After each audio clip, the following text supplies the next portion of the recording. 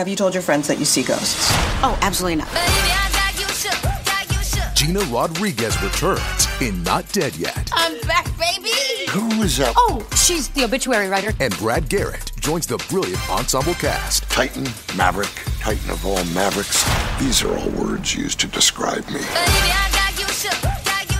Not Dead Yet. Season premiere. Tonight, 8.30, 7.30 Central on ABC. And stream on Hulu.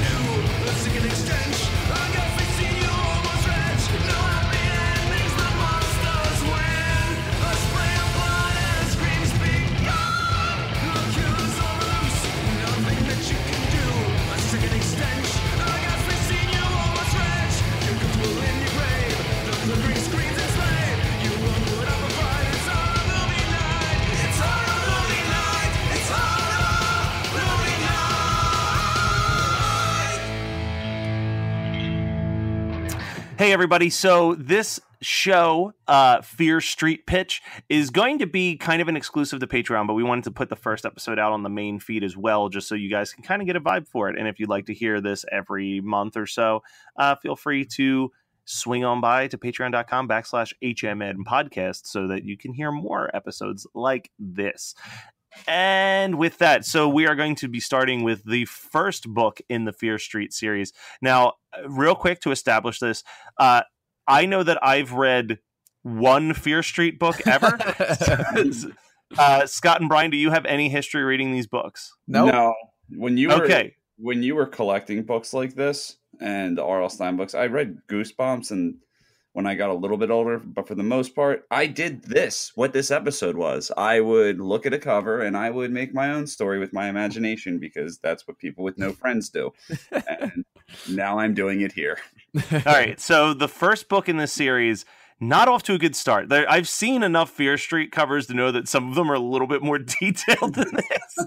but the, the, first cover, it's called "The New Girl," and it's it's a girl. Uh, dressed in a red sweater and a skirt, walking through a vo- very foggy, looks like empty town, two mansions, and it says he had to learn her secret or die trying. So, uh, who wants to be the first person to do their their movie pitch on what their film version of the new girl would be without ever reading the book? Um, I would like to take a stab at this because I want to jump on this grenade. Uh, I take responsibility for this uh, bonus series failing or not because I think I pushed you guys into it. well, you pitched it and I thought it was brilliant. So also, well, it I mean, might not think, be. Yeah, it didn't even go to a vote. It was just unanimous. So we're all to blame. Well, okay, good, good, good. So, um, I'm gonna say, okay, do do do you want the twist or do you want the pitch? The whole. The, tell us the whole thing. Tell us. I mean, obviously, you know, imagine that you're doing a pitch where you can't tell us the full 90 minute story in 90 minutes, but you know. No, I'm the, saying, do you? Okay, so let's just say her name's Janie. All right, she looks okay. like a Janie. Janie is obviously the new girl in this town, and um, she starts at school and the usual mean girl bullshit happens because she's the new girl. And then obviously two boys start to like her. One boy is athletic and one boy is the artistic one. Obviously the artistic one is the survivor boy because fuck jocks. Anyway so uh, she goes through the town, uh, you know, getting acclimated and you know, getting into clubs and and her schoolwork and things like that. And as she's going about her day, things start to break down. Like um, she's in the bathroom and somebody's there and then she hears a scream and she goes to the stall and there's nobody there and then another time she goes to let's say you know in the new house that she's living in she goes and um, she wakes up and she thinks she hears someone downstairs and, and there's no one there and there, it sounds like a window breaks but the window is not broken so all of this all of these things she thinks one she thinks she's haunted but Mm.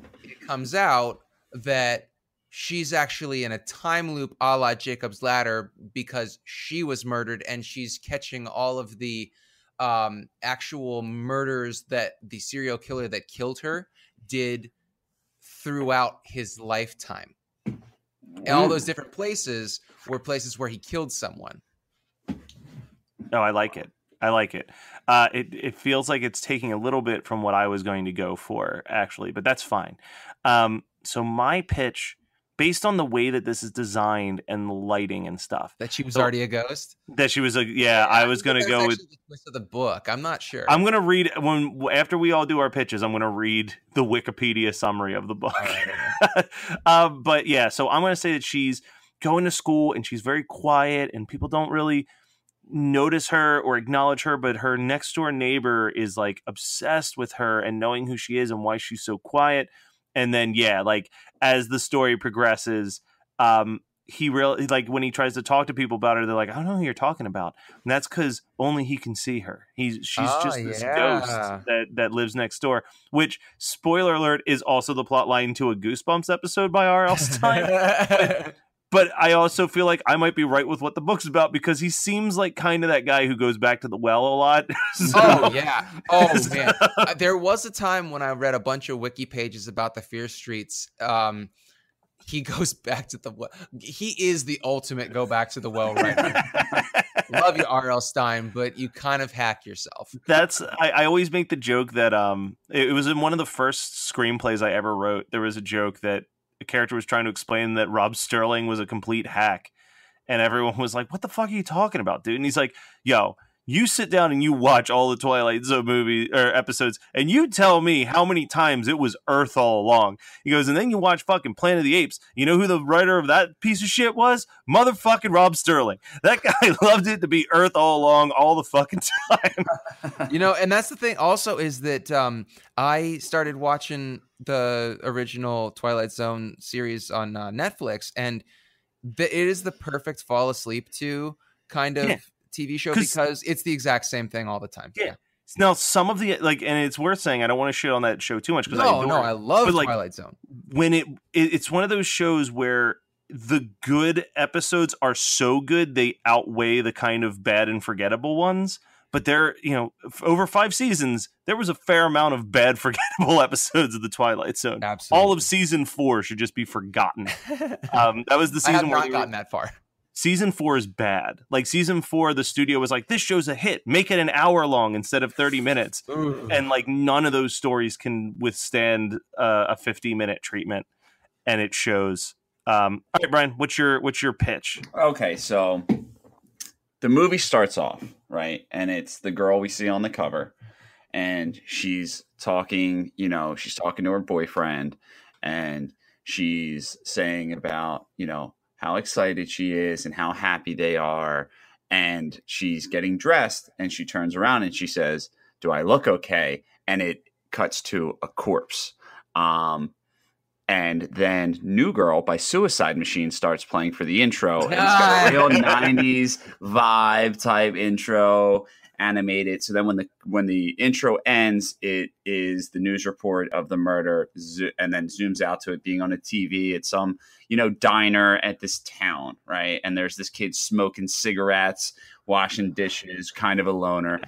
Um, so he's he's in high school, but he's 30, like horror movies Yeah. and he meets this new girl that we see in the beginning and he fall and and he falls in love with her you know she she talks to him maybe she drops a pen and he picks it up or whatever but they they they interact and they they start to you know fall you know he starts They to fall catch for her. feelings, as And the then- kids say. yeah they catch feelings and like i said he's a loner he gets picked on so so one day one of the jocks are like you know blah blah blah talking shit on to the girl and be like you know how do you feel that your girl's a hussy and he's like what the fuck you mean bro and he's like yeah well she's hanging out with john tonight and he's like what so then he goes and he walks and he creeps up in john's bushes to see and she's sitting on john like like it looks like she's riding him and then when she pulls back, he's got his throat slit. So he starts freaking out. He ends up confronting her. It's almost like a Heather's thing where she is like, I'm only killing shitty people. So he ends up going with her one, you know, one time to to a kill, and he's outside nervously smoking a cigarette, and he's just like, I can't fucking do this. So he kind of drifts away from her. She gets like, you know, more concerned about him on top of him. So finally he's like, I I need to take this girl down. So he goes, she just killed about half the football team at, at one of the parties.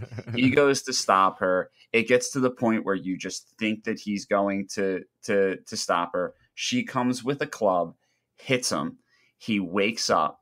She's gone. There's cops lights around. He's passed out holding the knife. They arrest him. The cops are going through. He's trying to say no one even knows who he's talking about with this girl. And they're like, "We found your footprint outside of the house of this guy. Here's a cigarette with your saliva on it. And this guy goes to jail for the murders of his classmates. And the new girl goes to her new town. Credits end. Okay, I so like that a lot. so Brian did the Brian did the best one. Uh, I think I would vote for that. the best uh, pitch. The best pitch. So let's see. Uh, so the New Girl is the first novel in R.L. Stine's Fear Street series. It was written in 1989 and was the earliest horror novel that Ste- Stine had written. Um, so this is pre Goosebumps, I which I didn't know that. I always saw I Fear Street. that, I didn't know that either. Yeah. Yeah. Yeah. All right. Corey, a high school student, falls in love with Anna, a new girl at his school. As he tries to learn more about her, he begins to doubt her existence. Most of her fri most of his friends have never seen her on campus, and she's not listed in the school's files. When he calls her family's home, someone on the other end insists that Anna is dead. When Corey visits Anna's house on Fear Street, he is met by a man who again insists that she is dead. A few nights later, Anna calls him asking to meet her and implies that she is in danger and needs help. When he meets her, she says that she just wanted to see him and kisses him and convince him that he's that she is real. Uh, she, she tells Corey the man he met at her house is her brother Brad and that he is crazy and possibly dangerous. At school, Corey's friend Lisa asks him to the school dance. Soon after, she finds a dead cat in her locker with a warning note attached to its neck. She suspects that Anna left it, being driven by jealousy over her friendship with Corey. At the dance, Lisa is pushed down a flight of stairs by Anna's brother Brad. While attempting to pursue him, Corey and Lisa end up locked in the music room. Corey escapes and lets Lisa out, but Brad escapes. Coupled with Anna's begging Corey for help, he now understands that Brad is behind all of this trouble. Corey angrily travels to Anna's house to confront Brad soon after. When he gets there, he sees Anna and Brad fighting with each other, and it is revealed that Anna is actually Willa, Anna's sister. Willa killed Anna out of jealousy, following which she assumed Anna's identity. Willa had told Corey that Brad is insane and possibly her sister's murderer, but Corey now realizes that it's the other way around. Brad is always just trying to warn him away. Corey and Brad manage to subdue Anna and call the police, and in the end, it is applied that Corey has begun a relationship with Lisa. That's actually pretty fucking cool. Yeah, well, R.L. Stine hadn't completely dried himself out, so he was yeah, like, well, feeling and good. the other thing that's important to remember is that the Fear Street books were definitely written for like a middle school and early high school Yeah, yeah, age, were. where Goosebumps were definitely like elementary school aimed. Yeah, So, so that that is a factor of these actually having people die versus Goosebumps, where everyone's okay at the end every Yeah. single time. Except for that Um, prick's little sister. I got, I got taken away by the cuckoo clock of doom. maybe I'll go get her. Maybe. um, all right. Well, that was the first episode of Fear Street Pitch. I hope you guys enjoyed it. I, I think it's a fine little mini series. Yeah, it was fun. You're listening to the Geekscape Network.